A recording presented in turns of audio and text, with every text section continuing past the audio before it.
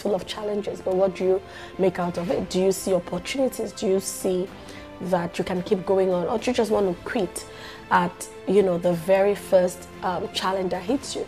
The Bible um, says in some one part it says, "If your strength fails in the day of adversity, your strength is weak."